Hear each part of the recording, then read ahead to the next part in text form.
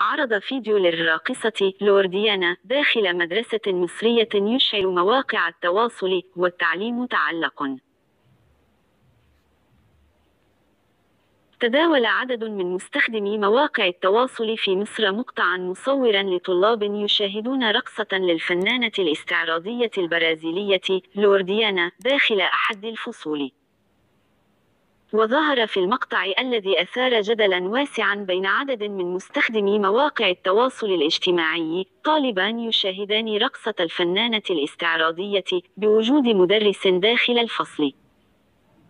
ونقل موقع بوابة أخبار اليوم المصري تصريحات خاصة لمسؤول في وزارة التربية والتعليم أكد فيها أن المسألة قيد التحقيق حاليا.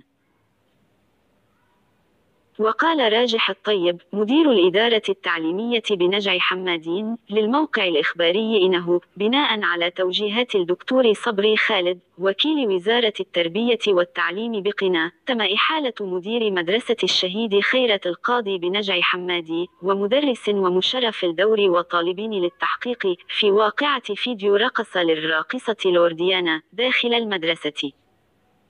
وتابع المسؤول هناك شؤون قانونية ستحقق في الموضوع لتوقيع العقوبات اللازمة بعد ثبوت الواقعة.